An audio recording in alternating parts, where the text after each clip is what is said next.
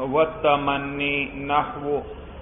ألا أيها الليل الطويل ألنجلي بصبح وما الإصباح منك بأمثلي. والإرشاد نحو إذا تداينتم بدين إلى أجل مسمى فاكتبوه وليكتب بينكم كاتب بالعدل. والتهديد نحو اعملوا ما شئتم. گزشتہ سبق میں ہم نے انشاء کے بارے میں پڑھنا شروع کیا تھا۔ آپ نے پڑھا کہ انشاء دو قسم پر ہے، یا تو وہ طلبی ہوگا یا غیر طلبی ہوگا۔ انشاء طلبی وہ ہے جو ایسے مطلوب کا تقاضا کرے جو طلب کے وقت حاصل نہ ہو۔ جو طلب کے وقت حاصل نہ ہو بھائی۔ اس لیے کیونکہ میں نے آپ کو بتلایا تھا کہ طلب حقیقت میں کہتے اس کو ہیں کسی چیز کے حاصل کرنے کا ارادہ کرنا۔ یہ کیا ہے؟ طلب ہے، طلب۔ اور کسی چیز کے حاصل کرنے کا ارادہ انسان تبھی کرتا ہے جب وہ چیز اس کے پاس نہ ہو، اس کو حاصل نہ ہو۔ اگر ایک چیز حاصل ہے تو پھر تو اس کی تحصیل نہیں ہو سکتی بھائی۔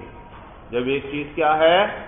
ہاں ایک کسی چیز کے حاصل کرنے کا ارادہ کرنا، تو حاصل کرنے کا معنی ہی یہ ہوا کہ وہ چیز معلوم آپ کے پاس نہیں ہے۔ ایک چیز آپ کے پاس ہو، پھر اس کے حاصل کرنے کا ارادہ کریں، یہ تو ہو ہی نہیں سکتا بھائی۔ سمجھ میں آیا بھائی؟ جی تو اسی لیے انہوں نے کہا کہ جب ایسا مطلوب جو طلب کے وقت حاصل نہ ہو بھائی، اور غیر طلبی انشاء وہ ہے جو ایسا نہ ہو جس میں یعنی مطلوب غیر حاصل کا تقاضا نہ ہو۔ جیسے مثلا قسم ہے بھائی، قسم۔ اب قسم کیا ہے؟ واللہ تو کہ میں قسم کھاتا ہوں اللہ کی۔ اب دیکھیے اس کے اندر کسی قسم کی طلب وغیرہ نہیں ہے۔ تو یہ کیا ہے؟ انشاء غیر طلبی ہے۔ یا افعال مدا و ضم وغیرہ ہیں بھائی۔ کسی کی انسان تعریف کرتا ہے۔ جیسے مثلا کہتے ہیں نعمر رجل زید۔ زید کتنا اچھا آدمی ہے۔ تو اب اس میں کسی قسم کی طلب نہیں، تو یہ انشاء غیر طلبی ہے۔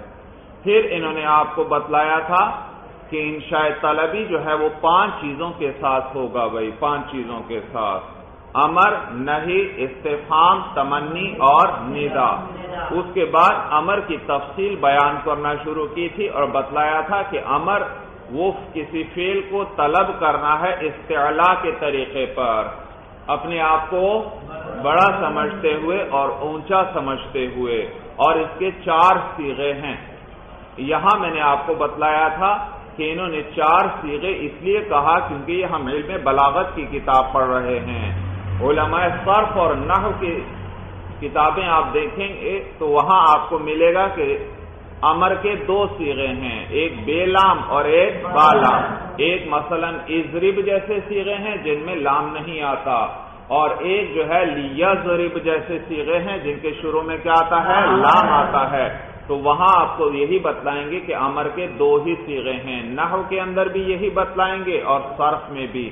لیکن یہ علم بلاغت ہے اور علم بلاغت والے ہر اس لفظ کو امر کہتے ہیں جس کا معنی امر والا ہو۔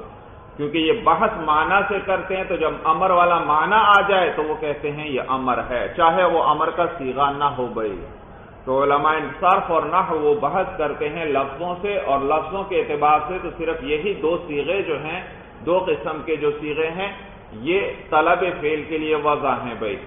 جبکہ علماء اصول یعنی علماء اصول فقہ اور علماء بلاغت وہ بحث کرتے ہیں معنی سے، تو وہ ہر اس لفظ کو امر کہیں گے جس کا معنی امر والا ہو۔ تو لہذا ان کے نزدیک اس میں فیل جو ہے، جو امر کے معنی میں ہو، وہ بھی کیا ہے؟ امر ہے۔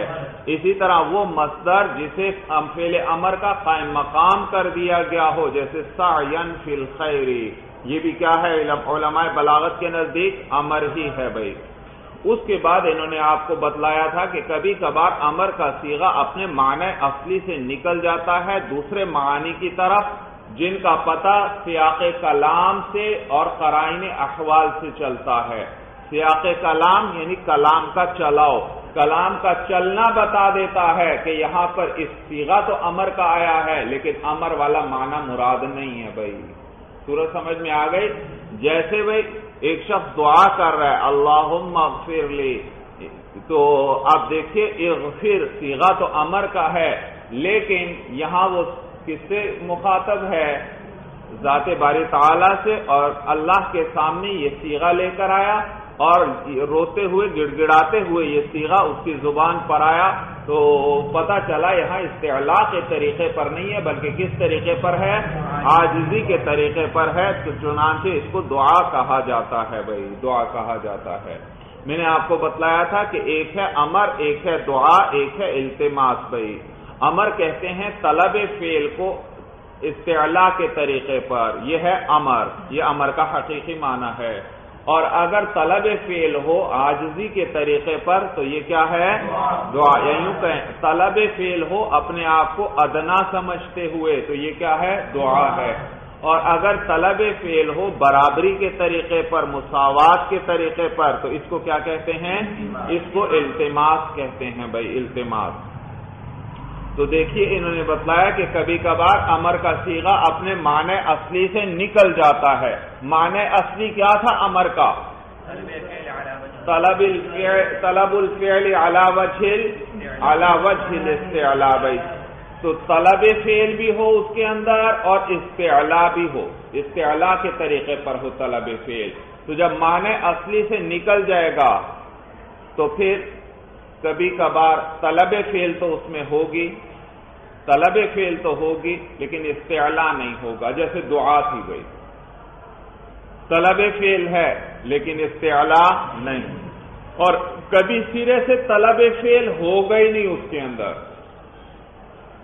تو دونوں چیزوں میں سے کوئی ایک بھی نہیں پائی جائے گی، تو امر اپنے اصل معنی پر باقی نہ رہا۔ اگر اپنے اصل معنی پر ہے تو کیا دو چیزیں ضروری؟ طلب فیل بھی ضروری اور اس کے اندر استعلا بھی ضروری اپنے آپ کو بڑا سمجھتے ہوئے بھائی۔ اور اگر دونوں میں سے چاہے ایک چیز منتفی ہو جائے، ایک چیز نہ پائی جائے یا دونوں نہ پائی جائیں، تو سیغ امر معلوم ہوا اپنے معنی اصلی سے نکل گیا ہے۔ اور اس کا پتہ سیاقی کلام سے چلے گا۔ یا اسی طرح کوئی اور کرینہ وغیرہ بتلائے گا کہ یہ اس وقت طلب فیل علاوہ استعلا کے لیے نہیں ہے بھائی۔ سورج سمجھ میں آ گئی بھائی؟ تو یہ مانا تھا کہ کبھی کبھار امر کا سیگا اپنے معنی اصلی سے نکل جاتا ہے دوسرے معنی کی طرف۔ اور اس کی مثال ایک تو دعا ذکر کی، رب اوزعنی ان اشکر نعمت کا اے میرے پروردگار، مجھے توفیق دیجیے کہ میں آپ کی نعمت کا شکر ادا کروں۔ تو اوزع اوزع، سیغہ امر آیا۔ لیکن یہاں اور یہاں طلب فیل تو ہے، لیکن استعلا کے طریقے پر نہیں ہے، بلکہ آجزی کے طریقے پر ہے۔ لہذا اس کو کیا کہیں گے؟ دعا بھائی۔ اور التماس کی مثال انہوں نے ذکر کی، جیسے آپ اپنے ساتھی سے اپنے برابر والے شخص سے کہتے ہیں آتی نیل کتاب مجھے وہ کتاب دے دیجیے۔ اب یہ یہاں اپنے آپ کو بڑا سمجھتے ہوئے نہیں کہہ رہے، نہ اپنے آپ کو ادنا سمجھتے ہوئے، بلکہ کس طریقے پر کہہ رہے ہیں؟ برابری کے طریقے پر، تو اس کو التماس کہتے ہیں عربی میں۔ اور اردو میں بھی التماس کا لفظ استعمال ہوتا ہے، یا اس کے لیے کیا لفظ استعمال کر سکتے ہیں آپ؟ درخواست کا، یا گزارش کا، بھائی گزارش۔ اب آگے اسی کی اور مثالیں چل رہی ہیں، جہاں سیغہ امر اپنے معنی اصلی سے نکل گیا ہو۔ آگے کہتے ہیں، وہ تمنی اور تمنی بھائی، تمنی، کسی چیز کی تمنا کرنا۔ میں نے بتلایا تھا، ایک ہے تمنی، ایک ہے ترجی بھائی۔ تمنی میں بھی ایک کسی چیز کو طلب کیا جاتا ہے۔ ترجی میں بھی کیا ہے؟ طلب یعنی اس میں طلب ہوتی ہے۔ لیکن تمنی اس کو کہیں گے جہاں اس چیز کا حاصل ہونا ممکن ہی نہ ہو۔ یا ممکن تو ہو لیکن نہایت مشکل ہو۔ تو اس کو کیا کہیں گے؟ تمنی۔ اور اگر طلب فیل ہے اور اس چیز کا حصول ممکن ہے بھائی، کیا ہے؟ ممکن ہے۔ آسانی سے، اور اس کی توقع ہے، امید ہے۔ تو اس کو کہتے ہیں ترجی بھائی۔ کیا کہتے ہیں؟ ترجی کہتے ہیں بھائی۔ وہ تمنی نحو اعلی الطویل الانجلی بصبح ومل اصباح من کبھی یاد رکھیے یہ امر القیس کا شعر ہے بھائی امر القیس کا. امر القیس عرب کا مشہور فصیح و بلیغ شاعر گزرا ہے۔ زمانہ جاہلیت کے اندر ظہور اسلام سے پہلے یہ بہت مشہور شاعر گزرا ہے، عرب کا بھائی، بڑا ہی فصیح و بلیغ۔ اور سبع معلقات کے اندر آپ اس کے اشعار پڑھیں گے بھائی تو اس کا جو معلقہ ہے، اسی میں سے یہ ایک شعر ہے بھائی ایک شعر۔ اور یہ امرا القیس، یاد رکھیے، بڑا فصیح و بلیغ شاعر تھا، بڑی شہرت تھی اس کی، اور یہ ملک ذلیل کے نام سے مشہور تھا بھائی کس نام سے؟ ملک۔ ملک بادشاہ، ذلیل واد کے ساتھ بھائی مبالغے کا سیگا ہے۔ بڑا گمراہ بھائی بڑا گمراہ بادشاہ۔ ملک ذلیل کا کیا مانا ہوا؟ بڑا گمراہ بادشاہ۔ تو یہ اس نام سے مشہور تھا۔ وجہ اس کی یہ کہ یہ عورتوں کے پیچھے گھومتا پھرتا تھا بھائی، بڑا عاشق مزاج آدمی تھا۔ خصوصاً اس کی چچازاد بہن عنیزہ، اس کے ساتھ اس کا معاشقہ بڑا مشہور تھا اور اس کی محبت میں اشعار وغیرہ کہا کرتا تھا بھائی۔ اور عربوں کو اللہ نے بڑا قوی حافظہ دیا تھا۔ اشعار تو ان کو سنتے ہی یاد ہو جاتے تھے اور ہر طرف پھیل جاتے تھے بھائی۔ تو یہ اس کے عشق میں، محبت میں اشعار کہتا تھا۔ تو یہاں بھی اسی طرح وہ شیر کہہ رہا ہے۔ دیکھیے بھائی۔ اللہ الطویل۔ اللہ حرف تمبی ہے بھائی۔ تمبی حرف تمبی تو اردو میں اس کا ترجمہ کبھی خبردار سے کیا جاتا ہے۔ کبھی آگاہ رہو، کبھی سنو کے ساتھ اس کا ترجمہ کر دیا جاتا ہے۔ موقع محل کے مطابق بھائی۔ اللہ الطویل۔ اللہ حرف تنبی آیا۔ ایوہ اللیل الطویل۔ اے لمبی رات، اے طویل رات۔ اللہ پھر حرف تنبی آیا بھائی۔ انجلی۔ انجلی۔ انجلی کے اندر یاد رکھیے، یہ یا جو ہے یا یہ یا دیکھ کر آپ یہ نہ سمجھیے کہ یہ واحد معنس حاضر کا سیغہ ہے بھائی۔ ازرب ازربا ازربو ازربی دیکھو ازری یہ کون سا سیگا ہے؟ واحد معنس حاضر کا سیگا ہے امر کا۔ تو آپ اس یا کو دیکھ کر یہ نہ سمجھیے کہ یہ واحد معنس حاضر کا سیگا ہے، بلکہ یہ یا اشباع کی ہے، اشباع۔ الف شین با الف عین، اشباع. اشباع کا معنی ہے کھینچنا، لمبا کرنا۔ تو دیکھیے، لام کے نیچے صرف کسرا تھا اور صرف کسرا ہو تو اس کو کیسے پڑھیں گے؟ انجل. تو لام کے نیچے صرف کیا تھا؟ کسرا تھا، انجل. پھر اس کے ساتھ اس حرکت کو لمبا کرنے کے لیے یا ملا دی گئی وہی۔ کسرے کے ساتھ یا ملا دی جائے تو کسرا لمبا پڑا جاتا ہے۔ فتح کے ساتھ الف ملا دیا جائے تو اس فتح کو لمبا کھینچا جاتا ہے۔ اور ضمے کے ساتھ و آ جائے تو پھر اس ضمے کو کیا کیا جاتا ہے؟ لمبا کیا جاتا ہے، کھینچا جاتا ہے۔ تو یہاں پر بھی یہ جو یا ہے، یہ یا اشباع ہے۔ اشباع کی۔ اسی کسرے کو لمبا کرنے کے لیے بھائی۔ اور اس کو یہاں کیوں ذکر کیا؟ کیوں لایا گیا؟ بھائی دراصل یہ اشعار کے خاص اوزان ہوتے ہیں۔ آگے چل کر آپ پڑھیں گے بھائی۔ ان اشعار کے خاص اوزان ہوتے ہیں۔ ایک حرکت کے بدلنے سے پورے شیر کا وزن خراب ہو جاتا ہے۔ تو جس کو اللہ نے ذوق دیا ہوتا ہے، وہ ذرا سی حرکت ادھر ادھر ہو، شیر کے اندر، وزن کے مطابق نہ ہو۔ عام آدمی کو تو پتہ نہیں چلے گا، لیکن جس کو اللہ نے ذوق دیا ہوگا، وہ سنتے ہی فوراً کہہ دے گا کہ شیر کا وزن صحیح نہیں بھائی۔ بھائی، شیر کے اندر ایک خاص ترنم ہوتا ہے، ایک خاص روانگی اور سلاست ہوتی ہے۔ اگر ایک حرکت ادھر ادھر ہو جائے سکون کی جگہ حرکت آ جائے یا حرکت کی جگہ سکون آ جائے تو وہ وزن سارا بگڑ جاتا ہے، وہ ترنم اس میں نہیں رہتا، وہ روانگی اور سلاست اس کے اندر نہیں رہتی بھائی۔ سمجھ میں آیا بھائی؟ تو اشعار کے مخصوص اوزان ہوتے ہیں تو اس وزن کی اس کو برقرار رکھنے کے لیے یہاں پر کیا کیا گیا؟ یا کا، یہ یا کو لمبا کیا گیا بھائی، یا کو کسرے کو لمبا کیا گیا۔ اور پھر اس میں یہ یاد رکھیے کہ اشعار میں ایسا ہوتا ہے کہ اشباع کیا جاتا ہے۔ اشباع کا کیا معنی؟ حرکت کو کھینچنا، لمبا کرنا۔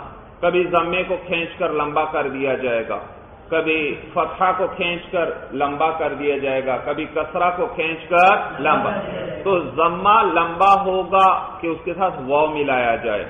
فتحہ لمبا ہوگا، اس کے ساتھ الف ملایا جائے۔ اور کسرا لمبا ہوگا ساتھ یا ملائی جائے۔ تو یہ ساتھ ملاتے تو ہیں لیکن لکھتے نہیں ہیں۔ کتابت میں نہیں آتے، صرف پڑھنے میں آتے ہیں، تلفظ میں آتے ہیں، لکھنے میں نہیں آتے یہ جو اشباع کی یا و یا الف ہوتے ہیں۔ لیکن یہاں پر یہ یا لکھی بھی گئی ہے باقاعدہ بھائی، باقاعدہ۔ تو لکھنا اس کا صحیح نہیں ہے بھائی۔ یہ لکھنا کیا ہے؟ غلطی۔ لیکن بہرحال یہ شیر کے اندر یہ لفظ روایات میں اسی طرح نقل ہوتا چلا آیا ہے، یا کے ساتھ بھائی یا کے ساتھ نقل ہوتا چلا آیا ہے۔ البتہ علماء ساتھ ساتھ تصریح کرتے ہیں کہ یہ یا ہونی نہیں چاہیے، لیکن یہ نقل اسی طرح ہوتا چلا آیا ہے، یا کے ساتھ، اس لیے ہم بھی یا کے ساتھ لکھ رہے ہیں بھائی۔ بات سمجھ میں آ گئی بھائی؟ تو انجلا انجلا کے معنی ہوتے ہیں روشن ہونے کے، روشن ہونے کے۔ انجلا ینجلی۔ بھائی ہے تو سیگا امر کا، لیکن آخر میں کسرا ہے۔ آپ کہیں گے امر کا تو آخر مجزوم ہوتا ہے، جزم آتا ہے۔ بھائی گردانے اگر آپ نے پڑھی ہوں، آپ کو پتا ہے امر کا سیگا ہو اور سیگا حاضر کا، اور آخر میں کوئی حرکت آ رہی ہو، تو اس کا مطلب ہے وہاں کوئی حرف علت حذف ہوا ہے۔ اصل میں تو ہے ازرب دیکھو، با آخر میں ساکن ہے۔ با آخر میں ساکن۔ لیکن اگر آخر میں حرکت آ جائے، مثلا ارمی ارمی حمزہ را میم میم کے نیچے کسرا اب یہ میم کے کسرے نے بتلا دیا کہ بھائی سیگا تو امر کا ہے، یہاں تو جزم آنا چاہیے تھا، لیکن کسرا آ رہا ہے۔ تو یہ کسرا بتلاتا ہے، یہاں کوئی حرف حذف ہوا ہے۔ اور کسرے کے مناسب کیا ہے یہاں؟ یا معلوم ہوا یہاں یا حذف ہوئی ہے بھائی۔ رما یرمی، تو ترمی ترمی سے امر بنایا۔ تو کیا بن گیا؟ ایرمی، یا آخر سے گر گئی بھائی۔ تو یہاں بھی اسی طرح، یہاں یا تو تھی، سیغے کی اپنی، وہ یا گر گئی بھائی۔ اور یہ یا اشباع والی ہے۔ یہاں تک بات سب کو اچھی طرح سمجھ میں آ گئی بھائی۔ تو انجلا انجلی کے معنی کیا ہوتے ہیں؟ روشن ہونے کے۔ انجلی، تو روشن ہو جا اللیل الطویل الانجلی۔ اے طویل رات، اے لمبی رات، تو روشن ہو جا بصبح صبح کے ساتھ۔ تو روشن ہو جا صبح کے ساتھ۔ ومل اسباح مین کا آپ کی کتابوں میں مین کی تو نہیں ہے؟ کاف کے نیچے کسرا تو نہیں ہے بھائی؟ ہاں مین کا ہونا چاہیے، کاف پر فتحہ کریں بھائی، اگر کسرا ہے، یہ غلطی ہے بھائی، کتابت کی۔ کیونکہ یہ کاف ضمیر، یہ خطاب ہو رہا ہے لیل کو، لیل، رات کو۔ اور لیل کا لفظ مذکر ہے مونس نہیں ہے بھائی۔ ومل اسباح مین کا اسباح کا اسبح یوسبح کا معنی صبح ہونا۔ ومل اسباح مین کا بھی امسلی امسل یہاں بمانے افضل کے ہے۔ امسل کس معنی میں ہے؟ افضل۔ وہ مل اسباح مین کا بھی امسل اور صبح بھی کوئی تیرے مقابلے میں افضل نہیں ہے۔ صبح بھی تجھ سے کوئی افضل نہیں ہے۔ ترجمہ سمجھ میں آیا بھائی؟ دوبارہ سنیے ترجمہ۔ اللہ الطویل الانجلی اے لمبی رات، روشن ہو جا بھی صبح صبح کے ساتھ۔ وہ مل اسباح مین کا بھی امسلی اور صبح بھی کوئی تجھ سے افضل نہیں ہے بھائی۔ اسباح یوسبح اسباح کا کیا معنی ہوتا ہے؟ صبح میں داخل ہونا، صبح کے وقت کا ہونا بھائی۔ تو صبح بھی تجھ سے کوئی افضل نہیں ہے۔ بھائی، یہ امرا القیس میں نے بتایا، بڑا عاشق مزاج آدمی تھا۔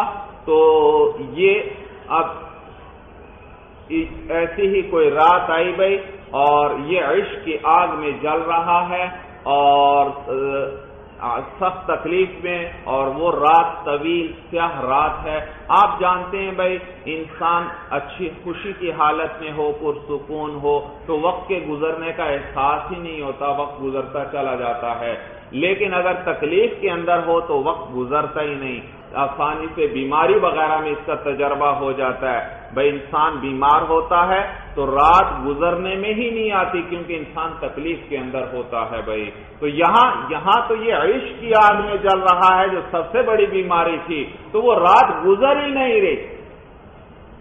یہ سخت تکلیف اور پریشانی کے عالم میں اور رات گزرنے میں ہی نہیں آ رہی، تو چنانچہ وہ اسی رات کو خطاب کرتے ہوئے کہتا ہے کہ اے طویل رات، ان جلیبی صبح روشن ہو جا، کس کے ساتھ؟ صبح کے ساتھ روشن ہو جا، صبح کے ساتھ روشن ہو جا۔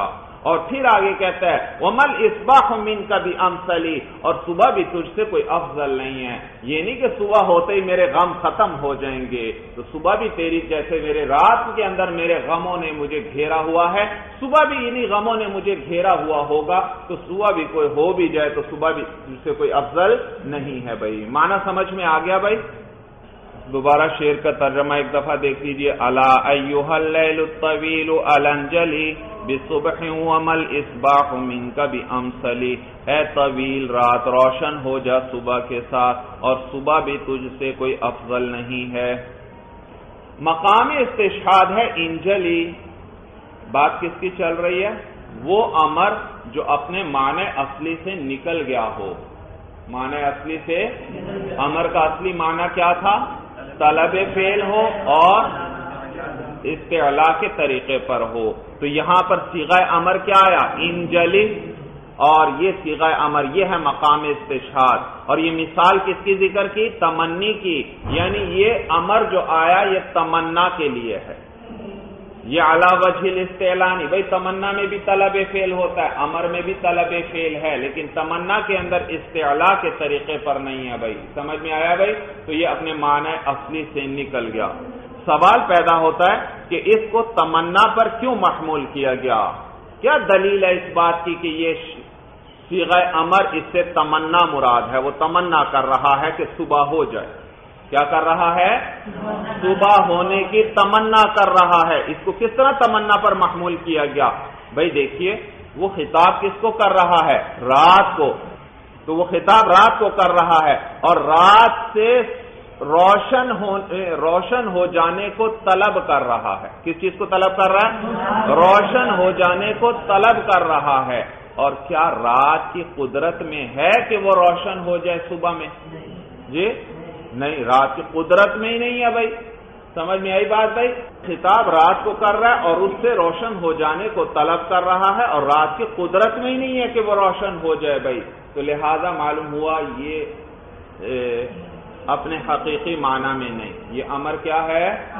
حقیقی معنی میں نہیں۔ پھر اس کو تمنا پر کیوں محمول کیا گیا؟ اور بھی تو معنی ہے جیسے یہ ذکر دعا ہے، التماس ہے، نیچے تحدید ہے، ارشاد ہے، تاجی۔ اور کسی معنی پر محمول نہیں کیا گیا، بلکہ کس معنی پر محمول کیا گیا؟ تمنا۔ بھائی، وجہ یہ وجہ یہ کہ شاید اس سے ماقبل اور ماں باپ کے اشعار کے اندر اپنے غموں کا ذکر کرتا ہے کہ مجھے غموں نے ہر طرف سے گھیر رکھا ہے، تکالیف اور پریشانیوں نے میرا احاطہ کیا ہوا ہے۔ اور پھر رات کی تاریخی کا ذکر کرتا ہے کہ خوب تاریخ کیا رات ہے اور اس نے ہر چیز کو اپنے اب ہر چیز کو اپنے گھیرے میں لے رکھا ہے۔ جس طرح سمندر کی موجیں ہوتی ہیں، وہ کسی چیز کو گھیر لیتی ہیں تو کسی طرف نکلنے کا راستہ دکھائی نہیں دیتا۔ تو یہ جو باتیں اس سے ماقبل ماں بعد میں وہ ذکر کر رہا ہے، ان سے پتا چلتا ہے، ان سے اندازہ ہوتا ہے کہ شاعر کو توقع اور امید ہی نہیں ہے کہ یہ اتنی طویل رات ہے، اس تاریخی نے اس طرح ہر چیز کو اپنی لپیٹ میں لے رکھا ہے، گویا شاعر کو توقع ہی نہیں ہے اس کے روشن ہو جانے کی۔ سمجھ میں آیا بھائی؟ وہ ماقبل اور ماں باپ کے اشعار سے کیا اندازہ ہوتا ہے؟ شاعر اپنی پریشانی، غم، تکلیف کو ذکر کرتا ہے اور کہتا ہے کہ رات ہر طرف چھائی ہوئی ہے، اس کی تاریخی نے ہر چیز کو اپنی لپیٹ میں لے رکھا ہے۔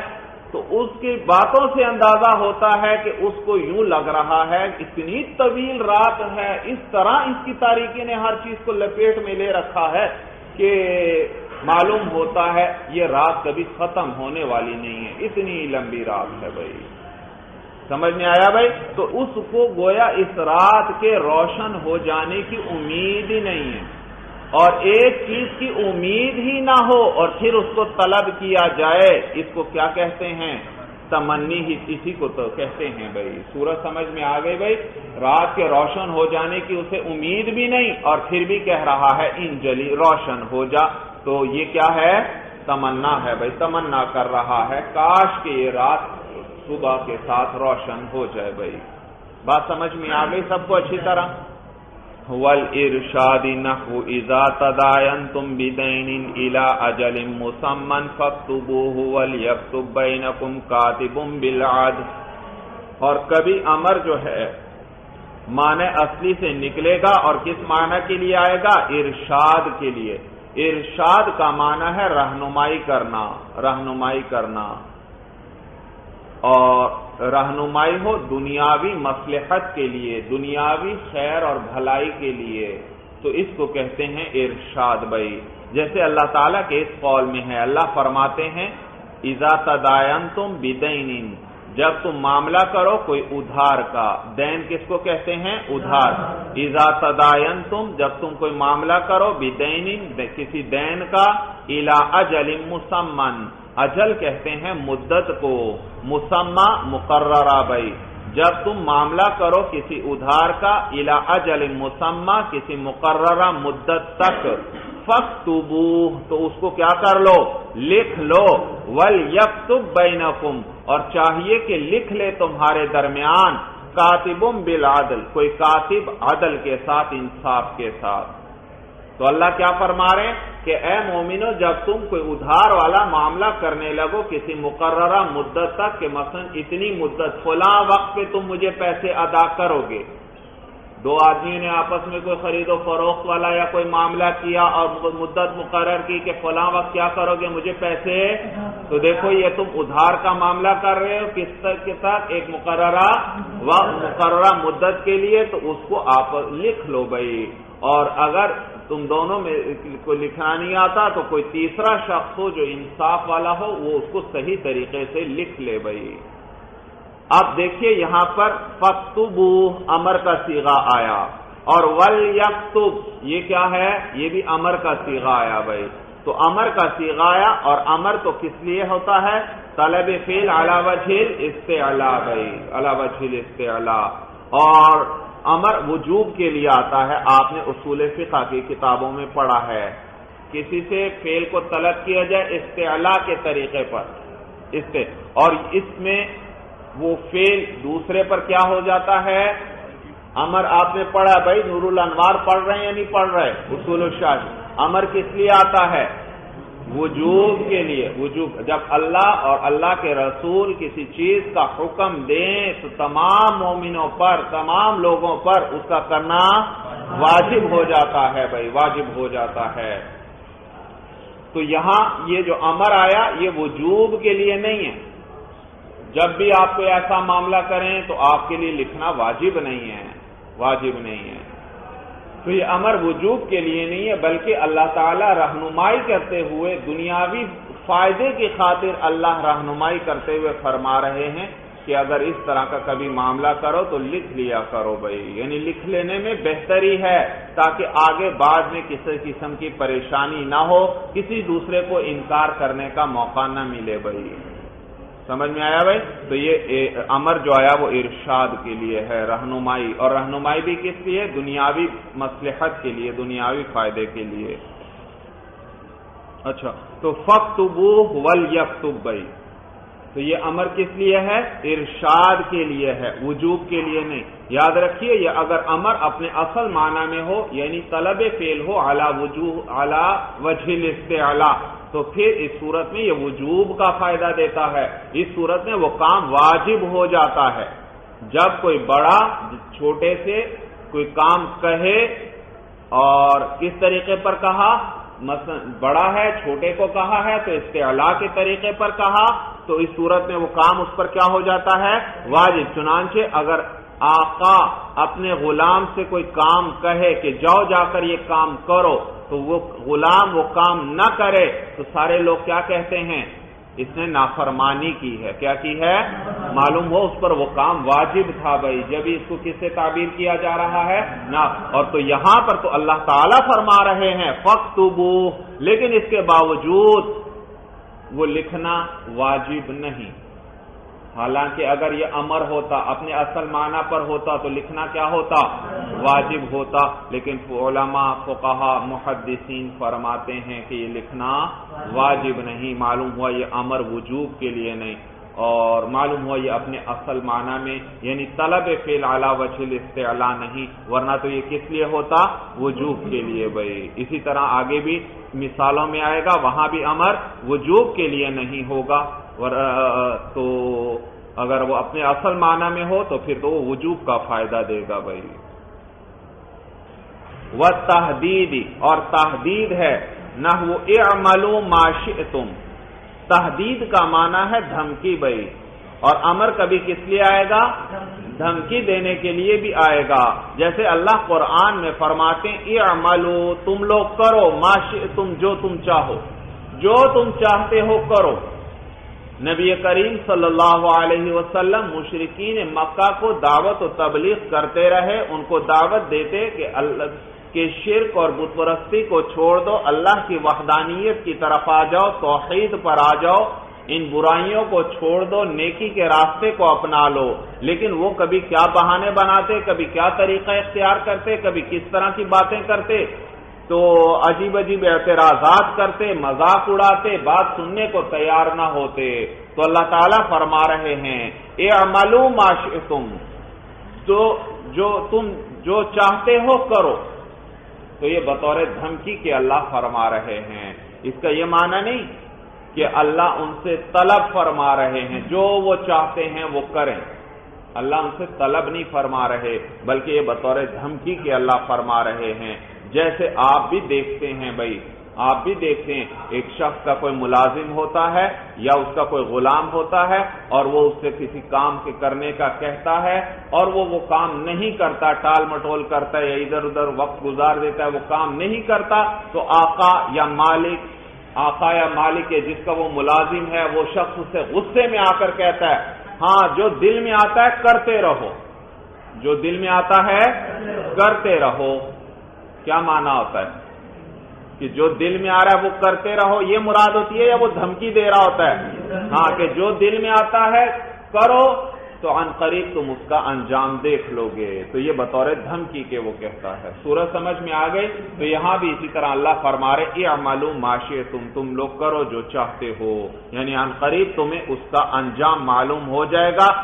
جب تم، جب تمہاری آنکھیں بند ہوں گی، موت آئے گی تو تمہیں پتہ لگ جائے گا کہ اس پیغمبر کی باتیں سچی تھیں یا سچی نہیں تھیں۔ اور پھر قیامت کے سامنے جب ہمارے سامنے پیش ہوگے تو تمہارے ایک ایک عمل کا تمہیں جواب دینا پڑے گا بھائی۔ و تاجیز اور کبھی امر جو ہے، تاجیز کے لیے آئے گا۔ تاجیز کا معنی ہے آجز کرنا۔ کسی دوسرے کے عاجز ہونے کا اظہار کرنا یہ کیا ہے؟ تاجیز۔ نحو مثال کے طور پر، یا لبکرین انشیرولی کلیبن، یا لبکرین این این الفرارو۔ یہ شعر ہے تاجیز کی مثال بھائی۔ یا لبکرین انشیرولی کلیبن، یا لبکرین این این الفرارو۔ یاد رکھیے یہ شعر جو ہے شاعر محلحل ابن ربیعہ کا شعر ہے بھائی۔ محلحل ابن محلحل ابن ربیعہ بھائی۔ دونوں جگہ دو آنکھوں والی ہا ہے بھائی۔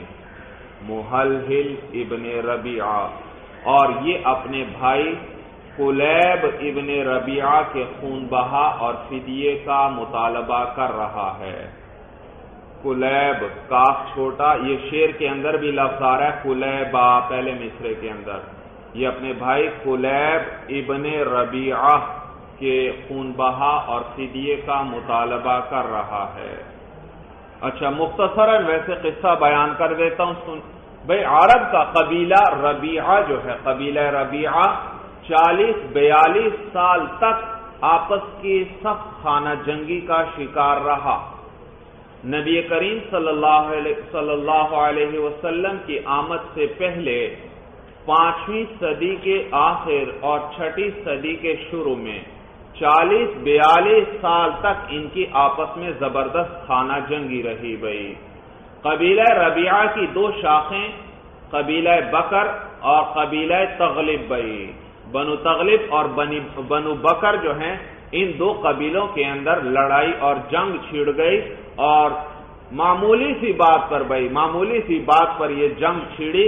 اور چالیس بیالیس سال تک یہ جنگ جاری رہی، جس کے اندر ہزاروں انسان، ہزاروں افراد قتل ہوئے بھائی عورتیں بیوہ ہوئی بچے یتیم ہوئے، گھر اجڑ گئے اور خون کی ندیاں بہ گئی بھائی اور عرب کے اندر ان جنگوں کا تذکرہ رہتا تھا، مجالس ان جنگوں کے تذکروں سے گرم رہتی تھی، ہر جگہ انہی جنگوں کا تذکرہ تھا بھائی اور چالیس بیالیس سال کے بعد پھر یہاں تک کہ اس دونوں قبیلوں کے تمام بڑے بڑے سرکردہ افراد ختم ہو گئے تو پھر معمولی سی گفت و شنید کے بعد ہی آپس میں انہوں نے صلح کر لی بھائی۔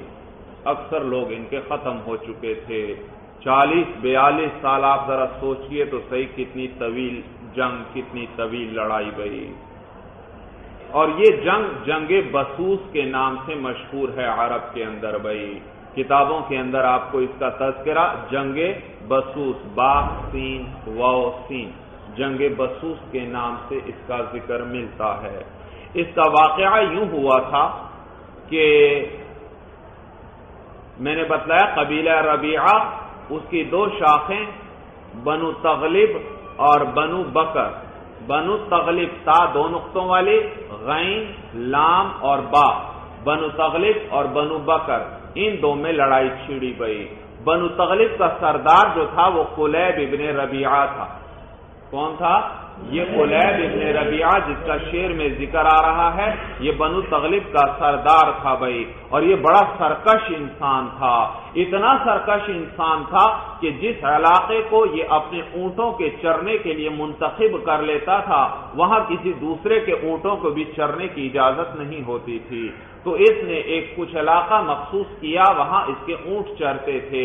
ایک دن کسی عورت کی ایک اونٹنی جو ہے اس طرف چلی گئی بھائی، اور وہ وہاں پر چرنے لگی۔ اس نے اپنے علاقے کے اندر اس اونٹنی کو چرتے ہوئے دیکھا تو بڑے سخت غصے میں آ گیا اور اپنے غلاموں کو اس کو زخمی کرنے کا حکم دیا۔ جبکہ بعض روایات میں آتا ہے کہ اس کے علاقے میں جہاں یہ اونٹوں کو چراتا تھا، وہاں ایک خاص قسم کے پرندے کا گھونسلہ تھا اور اس نے انڈے دیے ہوئے تھے۔ تو اس اونٹنی نے وہ انڈے توڑ دیے، خراب کر دیے، تو اس پر اس کو غصہ چڑھا بھائی۔ تو بہرحال جب اس نے اس اونٹنی کو اپنے علاقے میں دیکھا، تو اپنے غلاموں کو حکم دیا کہ اس اونٹنی کے بچے کو قتل کر دو اور اس اونٹنی کے تھنوں پر تیر اور نیزے مارو۔ چنانچہ انہوں نے غلاموں نے اس اونٹنی کے بچے کو قتل کر دیا اور تھنوں پر تیر اور نیزے مارے اور تو اونٹنی کا خون اور دودھ بہنے لگا۔ اونٹنی چیختی چلاتی ہوئی واپس بھاگی وہاں سے۔ گھر پہنچی گئی تو یہ ایک عورت تھی، بسوس نام کی، بسوس۔ اس عورت کی یہ اونٹنی تھی۔ اس نے جب یہ اونٹنی کی یہ حالت دیکھی تو چیخنا، چلانا اور رونا پیٹنا شروع کر دیا اور اتنا واویلا مچایا بھائی اتنا واویلا مچایا کہ اس کا بھانجا تھا جساس جساس ابن مرہ۔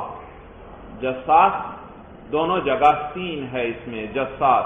تو اس کا بھانجا تھا جساس ابن مرہ، وہ اس سے آ کر کہنے لگا کہ تم فکر نہ کرو، غم نہ کرو، میں اس کا بدلہ لوں گا تمہارے لیے، تم فکر نہ کرو۔ سمجھ میں آیا بھائی؟ تو اس عورت نے واویلا مچایا۔ چنانچہ یہ جساس ابن مرہ نے پھر اس کے بعد وہ کلیب کی تاک میں رہنے لگا جس نے اونٹنی کو زخمی کروایا تھا اور موقع ملتے ہی اس کو قتل کر دیا۔ تو یہ جساس کا تعلق تھا بنو بکر سے۔ اور کلیب سردار تھا کس کا؟ بنو تغلب کا۔ تو اس جساس نے اس کو قتل کر دیا بھائی، قتل کر دیا۔ اور پھر اس بات پر دونوں قبیلوں کے اندر جنگ چھڑ گئی، لڑائی چھڑ گئی اور چالیس سال تک، بیالیس سال تک یہ لڑائی جاری رہی گئی چالیس بیالیس سال تک۔ پھر اس جنگ کا سب سے آخری مقتول بھی جو ہے، یہی جساس تھا جس نے قتل کر کے جنگ کا آغاز کیا تھا بھائی۔ یہ جساس جو تھا، اس نے کس کو قتل کیا شروع میں؟ کولیب کو۔ اور یاد رکھیے، یہ کولیب اس کا بہنوئی بھی تھا۔ اسی جساس کی بہن کی شادی کس سے ہوئی تھی؟ اس کولیب سے۔ اور جب اس نے کولیب کو قتل کیا، تو اس کی بہن حاملہ تھی بھائی اس وقت۔ تو اس نے ایک بچے کو جنم دیا۔ پھر اس بچ، تو یہ بچہ کیا؟ یہ جساس اسی بچے کا ماموں تھا۔ تو اس جساس نے اس بچے کی پرورش کی بھائی، اپنے پاس اس کو رکھا۔ جنگیں جنگ ہوتی رہی۔ یہاں تک کہ وہ بچہ بڑا ہو گیا، چالیس، بیالیس سال کا ہو گیا بھائی۔ اور اسے یہ پتا نہیں تھا کہ میرے والد کو جساس نے قتل کیا ہے۔ پھر اس وقت کسی طرح اس کو پتا چل گیا تو تو کہ میرے والد کو اس جساس نے قتل کیا تھا۔ تو وہ جساس کے پاس آیا اور کہنے لگا، کیا تم نے میرے والد کو قتل کیا تھا؟ جساس نے کہا ہاں میں نے قتل کیا تھا۔ جساس بھی اس وقت بوڑھا ہو چکا ہوگا، لیکن دیکھو، میں نے اچھا بدلہ بھی تو دیا۔ تمہاری اچھی طرح، بہترین اپنے بیٹوں کی طرح میں نے تمہاری پرورش کی اور خیال رکھا۔ اس لیے مجھے امید ہے تم مجھے کچھ نہیں کہو گے۔ وہ جو بیٹا تھا کلیب کا، وہ کہنے لگا کہ نہیں، یہ کیسے ہو سکتا ہے؟ کہ میرے باپ کا قاتل زندہ رہے، میرے لوگ سارے عمر مجھے تانے دیتے رہیں گے کہ اس شخص کے باپ کا قاتل آج بھی زندہ ہے بھائی۔ چنانچہ اس نے اس جساس کو پھر قتل کر دیا اور کہتے ہیں یہ اس جنگ کا آخری مقتول تھا بھائی۔ پھر جنگ اس کے بعد وہ صلح وغیرہ ہو گئی اور ختم۔ تو یہ جنگ جنگ بسوس کے نام سے مشہور ہے اور یہ اس عورت کے واویلا مچانے پر شروع ہوئی بھائی۔ اس کی اونٹنی زخمی ہوئی تھی۔ تو بعض لوگ واویلا مچاتے ہیں، بعض مرد بھی ہوتے ہیں اور زیادہ تر عورتوں میں یہ۔ اور تو سمجھ میں آیا بھائی؟ تو اچھے، ایسا ایسا واویلا، ایسا شور مچاتے ہیں کہ بڑے بڑے سمجھدار لوگوں کی عقل پر پھر پردے پڑ جاتے ہیں بھائی۔ اور غضب کی آگ ان کے دلوں میں بھڑک اٹھتی ہے، اس کی باتیں سنتے ہی بھائی تو چنانچہ جساس نے دیکھو، اس کی باتوں میں آ کر کلیب کو قتل کر دیا۔ اور پھر یہ جنگ چونکہ بسوس کی عورت کی وجہ سے شروع ہوئی تھی، اس کے واویلا مچانے اور اس کے بھڑکانے کی وجہ سے، تو یہ جنگ جنگ بسوس کہلاتی ہے۔ اور پھر یہ عورت نحوست کے اندر پورے عرب میں ضرب المسل بن گئی کہ اتنی منحوس عورت کہ اس کی وجہ سے پورے دو قبیلے ختم ہو گئے۔ چنانچہ آج بھی اس کا نام نحوست کے اندر بطور ضرب المسل کے عرب میں ذکر کیا جاتا ہے۔ جب کوئی شخص بڑا منحوس ہو یا اس کی نحوست کو بیان کرنا ہو تو عربی میں کہتے ہیں، فلان اش من بسوس فلاں تو بسوس سے بھی زیادہ منحوس ہے بھائی۔ تو اس کے نام کو بطور ضرب المسل کے ذکر کیا جاتا ہے بھائی۔ تفصیل سمجھ میں آ گئی بھائی؟ تو یہ وہ اس سے متعلق شعر ہے۔ یہ شاعر ہے محلمل ابن ربیعہ اور اپنے بھائی کلیب ابن ربیعہ کے خون بہا اور فدیے کا مطالبہ کر رہا ہے بھائی۔ دیکھیے شعر کے اندر کہتا ہے، یا لبکرین یا لبکرین لبکرین یہ لام استغاثہ کا ہے۔ آپ نے کافیہ میں پڑھا ہوگا یا نہ، ہدایت نہ میں، کہ لام استغاثہ جب منادا پر داخل ہوتا ہے تو اس کو جر دے دیتا ہے۔ تو یہاں پر بھی یا لا بکرین جر آ گیا بھائی۔ یا لا بکرین اے قبیلہ بکر والو۔ وہ جساس قبیلہ بکر سے تھا نا، جس نے قتل کیا تھا کلیب کو۔ یا لا بکرین اے قبیلہ بکر والو۔ انشرو بھائی نشارا ین شروع اور انشارا یون یعنی سلاسی مجرد سے یا سلاسی مزید فی سے۔ دونوں سے اس کا معنی انشرا یون اور نشرا ین شروع کے معنی ہوتے ہیں زندہ کرنا۔ کسی مردے کو زندہ۔ تو دونوں کا معنی ہے زندہ کرنا۔ لیکن یاد رکھیے شیر کے اندر جو روایات کے اندر آیا ہے، وہ ان شیرو باب افعال سے آیا ہے۔ سلاسی مجرد سے نہیں ہے، بلکہ سلاسی مزید فی سے ہے۔ یا لبکرین، اے قبیلہ بکر والو ان شیرو لی کلیبا۔ تم لوگ زندہ کرو میرے لیے کلیب کو۔ تم نے کلیب کو قتل کیا ہے، تم کیا کرو میرے لیے؟ کلیب کو زندہ کرو۔ یا لبکرین، اے قبیلہ بکر والو این این الفرارو، کہاں کہاں بھاگنا ہے؟ کہاں بھاگو گے؟ تم ہم سے بچ نہیں سکتے۔ تم ہمارے لیے کلیب کو زندہ کرو۔ تو یہ آئینہ ثانی جو ہے، یہ آئینہ اول کی تاکید ہے۔ آپ نے پڑھا ہے، ایک ہی لفظ کو دو دفعہ ذکر کیا جائے تو دوسرا کیا ہوتا ہے؟ پہلے کے لیے تاکید ہوتا ہے، اسی کو پختہ کرتا ہے، مضبوط کرتا ہے۔ یا لبکرین ان شیرولی کلیبن، یا لبکرین این این الفرارو۔ اے قبیلہ بکر والو، تم لوگ زندہ کرو، میرے لیے قلیب کو اے قبیلہ بکر والو، کہاں کہاں بھاگو گے؟ یعنی کہیں ہم سے بچ نہیں سکتے، بھاگ نہیں سکتے۔ اب مقام استشاد ہے انشرو سیغ امر آیا۔ سیغ امر آیا۔ اور یہ سیغ امر طلب فیل کے لیے نہیں ہے۔ شاعر ان سے یہ نہیں طلب کر رہا کہ کلیب کو زندہ کرو، بلکہ شاعر ان کے عجز کو ظاہر کر رہا ہے۔ ان کیا کہہ رہا ہے ان کو؟ کلیب کو زندہ کرو۔ اور وہ کلیب کو زندہ کرنا ان کی دسترس میں ہے؟ ان کی دسترس میں ہے ہی نہیں، وہ اس کے کرنے سے عاجز ہیں۔ تو شاعر ان کے عاجز ہونے کو ظاہر کر رہا ہے بھائی۔ کہ تم لوگ کیا ہو؟ عاجز ہو، کچھ کرنے کے قابل نہیں ہو بھائی۔ تو ان کے عجز کو ظاہر کر رہا ہے۔ بات سمجھ میں آ گئی بھائی؟ تو یا لبکرین ان شیرولی کلیبا ول احانتی نقو کونو حجارتن او حدیدہ اور کبھی امر جو ہے وہ احانت کے لیے آئے گا بھائی۔ احانت کا معنی ہے دوسرے کی، دوسرے کو ذلیل کرنا بھائی، اس کی احانت کرنا۔ نہ کونو حجارتن او حدیدہ تم لوگ پتھر بن جاؤ یا لوہا بن جاؤ۔ اللہ قرآن میں فرماتے ہیں، بھائی مشرقین مکہ کو نبی کریم صلی اللہ علیہ وسلم دن رات تبلیغ میں لگے رہتے کہ اللہ کی توحید اور وحدانیت کی طرف آ جاؤ۔ یہ بت پرستی اور شرک وغیرہ برائیوں کو چھوڑ دو بھائی۔ اور اگر تم ایسا کرو گے، اس سیدھے راستے پر آ جاؤ گے تو دنیا کے اندر بھی تمہیں اطمینان اور سکون حاصل ہوگا اور تکالیف سے بچ جاؤ گے اور آخرت میں تمہیں جنت جیسی عظیم نعمت اللہ تعالیٰ دیں گے۔ تو وہ حیرت کا اظہار کرتے ہوئے کہتے، یہ کیسے ہو سکتا ہے کہ ایک انسان مر جائے، مٹی میں گل سڑ جائے، بالکل مٹی ہو جائے اور پھر وہ دوبارہ زندہ ہو بھائی۔ تو اس طرح کی باتیں کرتے اور ایمان نہ لاتے تھے بھائی۔ تو اس پر اللہ فرما رہے ہیں بھائی کونو حجارتن او حدیدہ کہ اے لوگو، اے مشرقین تم ایمان تو نہیں لاتے، تم یہ سمجھتے ہو کہ ہمارے لیے تمہیں زندہ کرنا مشکل ہے، حالانکہ تم بھی جانتے ہو، تمہارے لیے بھی ایک کام پہلی مرتبہ مشکل ہوتا ہے، دوسری مرتبہ کرنا مشکل نہیں ہوتا۔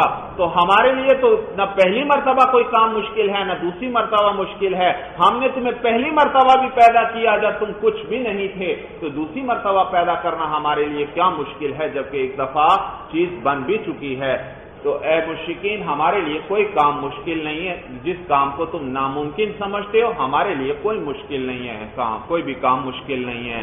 چنانچہ اللہ ان سے فرما رہے ہیں، کونو ہجارت اور حدیدہ۔ تم پتھر ہو جاؤ یا لوہا، یا اور کوئی یعنی جو سخت چیز جو تمہارے نزدیک طاقت والی ہے، چاہے وہ ہو جاؤ۔ تو بھی ہم تم سب کو زندہ کریں گے اور تمہیں اپنے اعمال کا جواب دہ ہونا پڑے گا۔ یہ نہ سمجھنا کہ زندہ کرنا ہمارے لیے مشکل ہے یا ناممکن ہے۔ تو دیکھیے، یہاں پر جو امر آیا، وہ احانت کے لیے ہے۔ اللہ فرما رہے تم پتھر ہو جاؤ یا لوہا ہو جاؤ، ہمیں تمہاری کوئی پرواہ نہیں ہے۔ تم ایمان لاؤ یا نہ لاؤ، ہمیں فکر نہیں۔ ہم نے تو قیامت کے دن کا اعلان کر رکھا ہے اور ہم قیامت کے دن سب کو اٹھائیں گے اور سب کا حساب لیں گے۔ تمہیں بھی اپنے اعمال کا جواب دینا پڑے گا بھائی۔ تو یہاں امر کس لیے آیا؟ ان سے پتھر اور لوہا ہونے کو طلب نہیں کیا جا رہا، کیونکہ یہ تو ان کی قدرت میں نہیں ہے، وہ پتھر یا لوہا بن سکتے ہیں۔ وہ پتھر تو یہاں پر معلوم ہو امر اپنے حقیقی معنی میں ہے ہی نہیں۔ پھر کس لیے ہے؟ احانت کے لیے ہے، ان کو ذلیل کرنے کے لیے ہے۔ اللہ فرما رہے ہمیں تمہاری کوئی پرواہ نہیں۔ تم کچھ بھی ہو جاؤ۔ ہم تمہیں پھر کیا کریں گے؟ آخرت میں زندہ کریں گے بھائی۔ ول اور کبھی امر اباحت کے لیے آئے گا بھائی۔ مباح کر دینا، جائز کر دینا کسی چیز کو۔ نہ مثال کے طور پر کلو وشربو تم کھاؤ اور پیو۔ تم کھاؤ اور پیو۔ بھائی یاد رکھیے ابتدائی اسلام کے اندر، اسلام کے احکامات تدریجن نازل ہوئے ہیں۔ تو ابتدا کے اندر جب روزے فرض کیے گئے، تو روزے بڑے مشکل تھے۔ صرف رات کے ابتدائی حصے میں کھانے پینے کی اجازت ہوتی تھی۔ رات کے بالکل شروع کے حصے میں۔ اس کے بعد پھر روزہ پھر شروع ہو جاتا اور رات میں بھی پھر کھانے پینے کی اجازت نہیں ہوتی تھی۔ اگلا سارا دن بھی کھانے پینے وغیرہ کی اجازت نہیں۔ شام تک۔ اور پھر اس میں بھی شام کے صرف ابتدائی حصے میں کھانے پینے کی اجازت گئی۔ تو ابتدائی حصے میں صرف کھانے پینے کی اجازت ہوتی تھی، باقی رات میں کھانے پینے کی اجازت نہیں۔ لیکن پھر اللہ کی طرف سے حکم آیا بھائی، کلو و شربو، کہ کیا کرو؟ رات کو بھی کھاؤ اور پیو۔ لکم الخیت الابیض من الخیت الاسود۔ یہاں تک کہ تمہارے لیے ظاہر ہو جائے صبح کی سفید دھاری، رات کی سیاہ دھاری کے مقابلے میں۔ یعنی یہاں تک کہ فجر صادق طلوع ہو جائے۔ فجر صادق طلوع ہونے تک تم کیا کر سکتے ہو؟ کھا پی سکتے ہو۔ تو دیکھیے یہاں پر اب پہلے کھانے پینے کی اجازت نہیں تھی، اب یہاں پر کیا کیا جا رہا ہے؟ کلو وشربو کھانے پینے کی اجازت دی جا رہی ہے۔ اور یہ عباہت کے لیے ہے بھائی۔ کیا؟ دیکھو سیغے تو امر کے ہیں۔ کلو وشربو جیسے اوپر والا سیگا کو نو امر کا سیگا تھا بھائی۔ وہاں وہ امر کس لیے تھا؟ احانت کے لیے، وجوب کے لیے نہیں، کیونکہ ہجارہ اور حدیث تو وہ بن ہی نہیں سکتے۔ یہاں پر بھی کلو و شربو امر کے سیغے آئے۔ اور یہ امر کس لیے ہے؟ وجوب کے لیے نہیں ہے۔ بھائی شہری کھانا واجب ہے؟ جی شہری کھانا آپ بھی جانتے ہیں، واجب نہیں ہے بھائی۔ تو معلوم ہوا یہ کس لیے ہے امر؟ عباہت کے لیے ہے کہ مباح ہے تمہارے لیے۔ کھانا پینا چاہو تو کھا پی سکتے ہو طلوع فجر تک، بھائی۔ ول امتنانی اور امتنان کا معنی احسان جتلانا بھائی، احسان جتلانا۔ ول امتنانی اور کبھی امر کس لیے آئے گا؟ احسان جتلانے کے لیے اپنا احسان بتانے کے لیے۔ نقو مثال کے طور پر، کلو مما رزقکم اللہ۔ کھاؤ تم اس میں سے جو تمہیں اللہ نے رزق دیا ہے۔ تو کلو امر آیا اور یہ امر وجوب کے لیے نہیں ہے۔ وجوب کے لیے نہیں ہے۔ بلکہ یہ صرف اللہ احسان کے طور پر اپنا احسان بتلا رہے ہیں کہ جو تمہیں اللہ نے رزق دیا ہے، اس میں سے کھاؤ بہی۔ اب سوال پیدا ہوتا ہے، کیسے پتا چلا کہ یہ ہمارے احسان کے لیے ہے؟ کہتے ہیں، یہ جو آگے کرینہ آیا میما رضا اللہ وہ جو تمہیں اللہ نے رزق دیا ہے، یہ کرینہ بتلا رہا ہے۔ کہ یہ بطور احسان کے اللہ فرما رہے ہیں کہ ہم نے تمہیں کھانے پینے کی ہر طرح کی نعمتیں دے رکھی ہیں، ہماری ان نعمتوں میں سے کھاؤ، پیو۔ مانا سمجھ میں آیا بھائی؟ تو یہ بطور احسان کے اللہ فرما رہے ہیں بھائی۔ تو یہ وجود کے لیے نہیں۔ وہ تخیر اور کبھی امر کس لیے آئے گا؟ تخیر کے لیے آئے گا، اختیار دینے کے لیے۔ بھائی دیکھیے، مثلا آپ کے سامنے دو کتابیں پڑھی ہیں۔ آپ اپنے ساتھی سے کہتے ہیں خود ہاضا اوہاضا یہ اٹھا لو یا یہ اٹھا لو۔ تو آپ نے اس کو اختیار دیا دو چیزوں میں سے ایک چیز کا۔ اس کو کہتے ہیں تخیر خود ہاضا او ہاضا تو خود امر آیا۔ اور یہ امر کس لیے ہے؟ اختیار دینے کے لیے ہے بھائی، اختیار دینے کے لیے۔ وہ تخیر اور تخیر کے لیے نہ وہ خود ہاضا اوزا کا یہ لے لو یا یہ لے لو۔ اچھا بھائی اباحت اور تخیر میں فرق یہ ہے کہ اباحت میں دونوں چیزوں کا جمع کرنا جائز ہوتا ہے تخیر میں دونوں چیزوں کا جمع کرنا جائز نہیں۔ دیکھو، کلو وشربو کھاؤ اور پیو چاہے تو صرف آپ کھائیں۔ چاہے تو صرف پیئیں اور چاہے تو دونوں کریں، کھائیں اور پیئیں۔ شہری کے اندر کھانا بھی صرف کھائیں، یہ بھی ٹھیک ہے۔ صرف پی لیں، یہ بھی ٹھیک ہے۔ کھائیں اور پیئیں، سب صورتیں جائز ہیں یا جائز نہیں؟ اور چاہے تو سرے سے شہری کھائیں نہ۔ روزہ ہوگا یا نہیں ہوگا؟ روزہ تو ہو جائے گا اگر کہ مصنون چیز رہ گئی، لیکن بہرحال بات اس وقت وجوب کی ہو رہی ہے کہ واجب نہیں ہے۔ تو یہاں البتہ جب آپ نے دوسرے سے کہا کہ ان دو کتابوں میں سے ایک لے لو تو وہ اس کے لیے ایک کتاب لینے کی تو اجازت ہوگی، دونوں لینے کی اجازت نہیں۔ اچھا پھر پتہ کیسے چلے گا کہ کوئی امر اباحت کے لیے ہے یا تخیر کے لیے؟ کہتے ہیں بھائی کرینہ بتلا دے گا۔ کوئی نہ کوئی کرینہ وہاں بتلا دے گا۔ مثلا آپ کا اگر کوئی قریبی ساتھی ہے، آپ نے اس کے سامنے دو کتابیں رکھی آپ نے کہا، بھائی یہ والی کتاب لے لو یا یہ والی لے لو۔ وہ کہتا ہے، نہیں بھائی میں تو دونوں لوں گا، دونوں اس نے اٹھا لی معلوم ہوا یہ امر کس لیے تھا؟ اباحت کے لیے تھا، ورنہ تخیر کے لیے ہوتا تو آپ اس کو دونوں کتابیں لینے کی اجازت نہ دیتے۔ موقع محل۔ ہاں اس کے مقابلے میں ایک آپ دکاندار کے ساتھ بات کر رہے ہیں۔ دکاندار آپ سے کہتا ہے، یہ والی پانچ سو روپے میں یہ والی چیز لے لیں یا یہ والی لے لیں۔ آپ دونوں اٹھا سکتے ہیں پانچ سو میں؟ نہیں، وہ معلوم ہوا وہ کیا کر رہا ہے؟ تخیر ہے یہاں پر کہ دونوں میں سے جو چاہیں آپ لے لیں بھائی۔ سورج سمجھ تو کرینا وغیرہ بتلا دے گا۔ وہ تصویتی اور کبھی اگر کس لیے آئے گا؟ تصویہ برابری بیان کرنے کے لیے۔ نہ وہ فس بیرو اور لا تصویرو تم لوگ صبر کرو یا صبر نہ کرو۔ تو یہاں اس بیرو امر آیا۔ لیکن یہ امر وجوب وغیرہ کے لیے نہیں کہ تم لوگ صبر کرنا ان سے طلب کیا جا رہا ہو، بلکہ یہ برابری بیان کرنے کے لیے ہے۔ جہنمی جہنم میں جلیں گے اور چیخ و پکار کریں گے، اللہ سے فریاد کریں گے کہ اللہ ہمیں یہاں سے نکال لیجیے، لیکن ان کی ایک نہیں سنی جائے گی، اللہ ان کی طرف توجہ ہی نہیں فرمائیں گے۔ تو پھر وہ آپس میں کہیں گے کہ یوں کرتے ہیں، صبر کر لیتے ہیں، ذرا خاموش بیٹھ جاتے ہیں۔ کتنی چیخ و پکار کر لی، اس کا تو فائدہ نہیں ہوا۔ خاموشی سے برداشت کرتے ہیں عذاب کو، شاید اللہ تعالیٰ اس پر ہمیں یہاں سے نکال لیں۔ تو اس موقع پر انہیں اللہ کی طرف سے کہا جائے گا فصبرو او لاتت تم لوگ صبر کرو یا صبر نہ کرو؟ یعنی تمہارے لیے دونوں چیزیں برابر ہیں، تمہیں ہر حال میں اب یہیں پر رہنا ہے۔ تو اللہ تعالی ہم سب کی جہنم سے حفاظت فرمائے گئے تو یہ امر برابری بیان کرنے کے لیے کہ صبر اور صبر نہ کرنا دونوں ان کے لیے برابر ہیں۔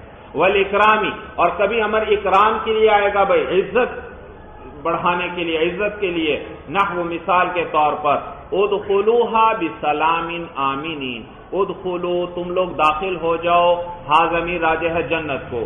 تم لوگ تم لوگ اس جنت میں داخل ہو جاؤ بسلام، سلامتی کے ساتھ۔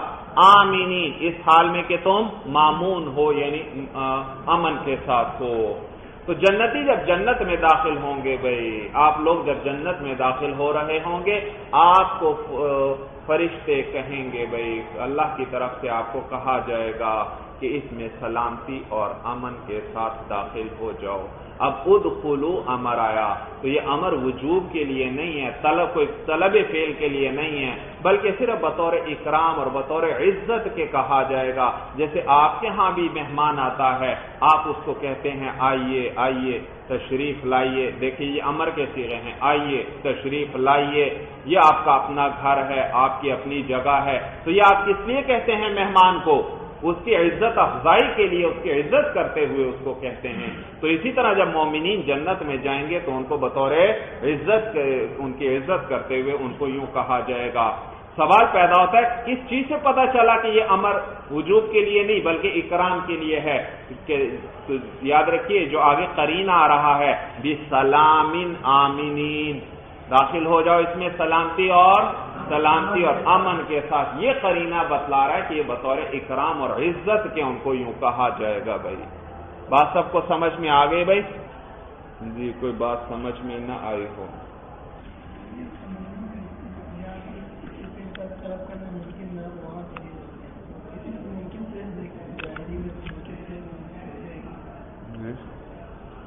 اچھا بھائی، یہ سوال پوچھ رہے ہیں کہ اللہ الطویل الانجلی انجلی کو امر تمنی پر محمول کیا گیا۔ اور، تمنی تو کہتے ہیں کسی ایسی چیز کی تمنا اور طلب کرنا جو ممکن ہی نہ ہو۔ اچھا ممکن ہی نہ ہو۔ اور حالانکہ رات کا تو صبح کے ساتھ روشن ہو جانا ممکن ہے۔ تو اس کو تمنی کیسے کہیں گے؟ بھائی، میں نے ابھی بتایا، تمنی ایسی چیز کو طلب کرنا جس کا حاصل ہونا ممکن ہی نہ ہو۔ یا ممکن تو ہو لیکن سخت دشوار ہو۔ کیا ہو؟ سخت دشوار۔ تو یہاں پر بھی ماقبل اور ماں بعد کے اشعار بتاتے ہیں کہ شاید اتنے غم اور تکلیف میں مبتلا ہے اور رات نے اور اس کی تاریخی نے اس کا اس طرح احاطہ کیا ہوا ہے جو وہ بیان کرتا ہے۔ گویا اس شاعر کو امید ہی نہیں ہے کہ اس لیے رات بھی روشن ہوگی اور صبح کبھی آئے گی۔ بھائی، ختم ہونے میں نہیں آ رہی اس کو امید ہی نہیں ہے اس رات کے ختم ہونے کی۔ بھائی، سمجھ میں آیا بھائی؟ اور امید نہیں، اور پھر وہ کیا کر رہا ہے؟ اس کو طلب کر رہا ہے۔ اسی کو تو تمنی کہتے ہیں۔ بھائی، بات سمجھ میں آ گئی بھائی؟ تو امید ہی نہیں ہے یا بہت مشکل ہے اس کے خیال میں کہ یہ روشن ہو جائے۔ چلیے بس بحادہ المرام، اللہ عالم بھی حقیقت الکلام۔